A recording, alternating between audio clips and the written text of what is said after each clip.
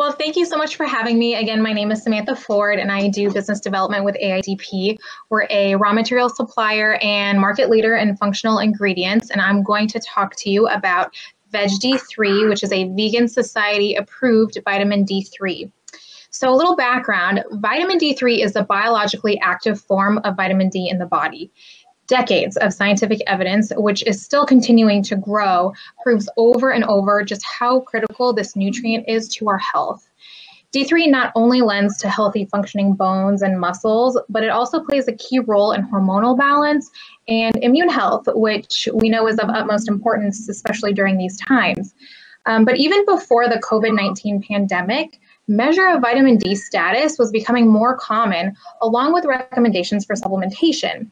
And that is because over half the US population is estimated to be deficient. If you think about that, that is every other person in this virtual room. Now, why is that? Um, it's extremely difficult to get enough D3 from diet and lifestyle alone. And not to mention, primary sources of D3 are mostly animal derived, which further limit those that adopt vegan and vegetarian lifestyles or those trying to adopt a greener living and limit their animal consumption. So, until somewhat recently, non animal sources of vitamin D included D2, which is the non active form. But overwhelming evidence shows that D2 is functionally inferior to vitamin D3. It has up to 87% less absorption and utilization, and even up to 300% less effectiveness in the body even back in 2006, an article that was published in the American Journal of Clinical Nutrition made a bold conclusion that vitamin D2 should actually no longer be regarded as a nutrient appropriate for supplementation or food fortification. Now, as far as D3 is concerned, for some time, the only non animal option was a lichen derivative. And to put it simply, it's not sustainable as lichen takes several decades to grow and it's damaging to the ecosystem. And also, it's not pure. It's really more of a plant extract that contains a vitamin D3 component. So now enter Veg D3. Years of innovation have led to the development of the only 100% pure, certified organic, plant based, and biologically active form of vitamin D3. Veg D3 is produced from a non GMO algae, which are grown in controlled conditions, so it ensures 100% purity, sustainability, and scalability. It's chemically identical to the animal-based D3 and meets mm-hmm. both US and European pharmacopoeias for cholecalciferol. So that means it can be used as a direct one-to-one replacement and behaves identically in formulation. Veg D3 is Vegan Society approved, kosher, halal, organic, and non-GMO. It's available in oil and powder grades and suitable for just about any type of formulation from dietary supplements to food and beverage. So if you're a formulator or a manufacturer, contact me. Let's elevate your products. And if you're an educator, let's spread the word. Thank you. Beautiful. Kanta, would you like to start off? I'd love to. Thank you. Really good presentation. Lovely. And I love to see a vegan product on the marketplace. Question for you. Um, is your vitamin D3 approved, in infant formula? It's it's identical to it meets USP.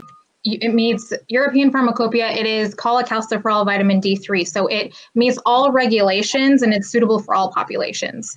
So it's approved for infant formula in the US. Um, that's actually specifically approved for infant formula. I'd have to double check, but I would imagine so, just given the nature of the material. Um, not not all ingredients, even if they are approved by the FDA or, or uh, which I say recognized as safe are actually approved. So infant formula, I'd like to know because I believe that there are markets for your product and especially for vegan products. That's why I was going to ask you about it. Just a quick question. Does it smell fishy? Because things from algae usually smell fishy.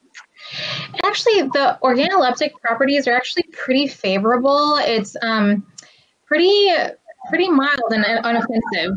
So I don't, I've never experienced any issues with it. Corinne, the floor is yours.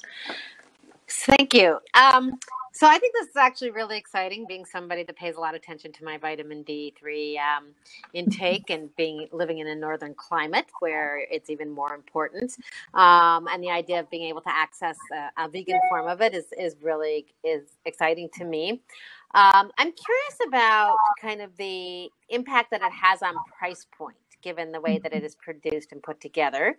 And if I were to use that ingredient in my formulation, your ingredients in my formulation, how would that impact my price point?